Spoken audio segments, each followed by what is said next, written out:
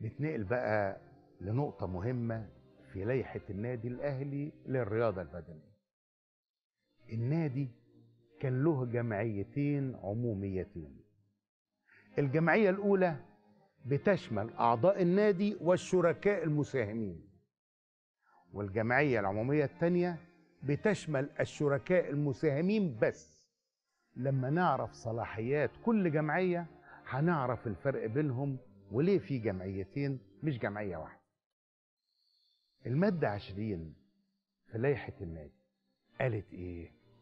قالت تنعقد الجمعية العمومية للشركاء قبل مضي 31 يوما بعد انتهاء كل سنة تحت رئاسة الرئيس العام.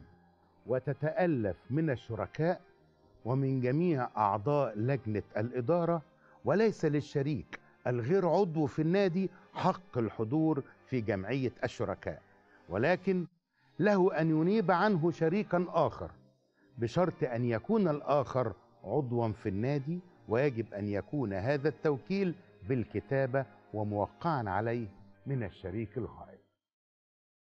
الكلام ده معناه إن خلال 31 يوم من انتهاء السنة بتنعقد الجمعية العمومية تحت رئاسة الرئيس العام. الرئيس العام هو رئيس الجمعية العمومية للنادي.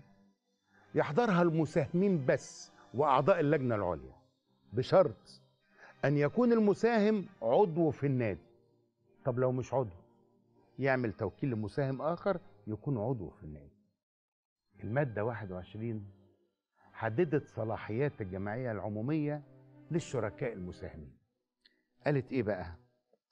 يعرض على الجمعية العمومية للشركاء حساب النادي عن السنة الماضية وميزانية السنة القادمة وكذلك باقي المسائل الواردة في الدعوة بالحضور.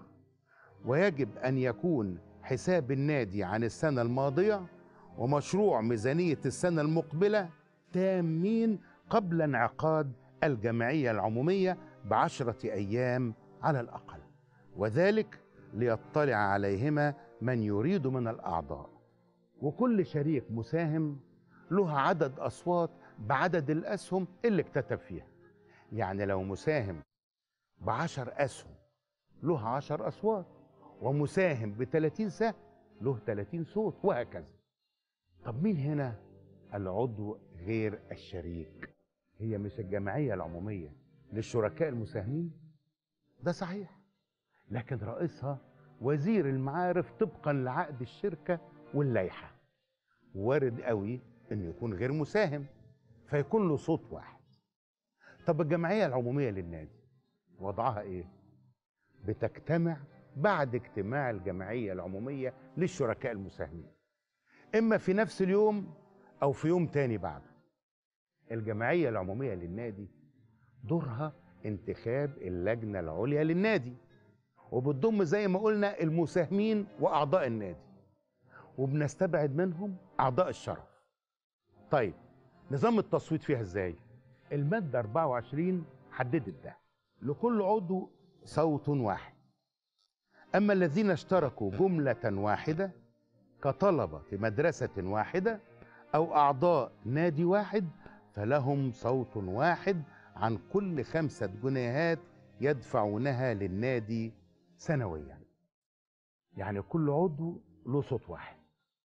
طب المدارس والأندية غير الرياضية اللي اشتركوا جملة واحدة كده بتتحسب أصواتهم إزاي؟ نفرض مثلا مدرسة عدد طلابها 100 طالب. دفعت اشتراك مجمع مخفض لطلابها 100 جنيه مثلا. كل خمسة جنيه لهم صوت في الجمعية.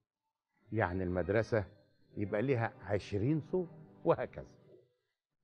اللائحة وضعت صلاحيات الجمعية العمومية للنادي وكان أهم مادة فيها المادة 25 قالت إيه بقى؟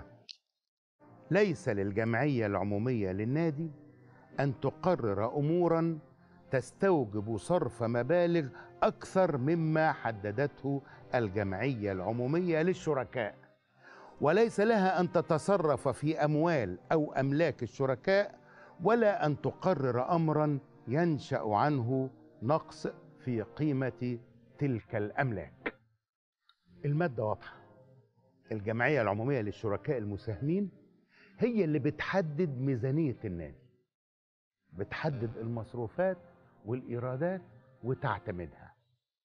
المساهمين هم اللي أنشأوا النادي وبيطوروه.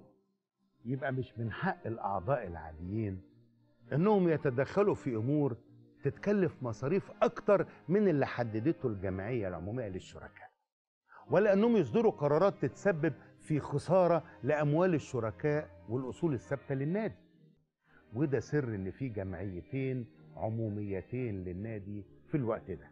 جمعية عمومية للشركاء المساهمين وجمعية عمومية لأعضاء النادي. لكن علاقة الأعضاء بالعاملين في النادي إيه؟ تفتكروا اللائحة قالت إيه؟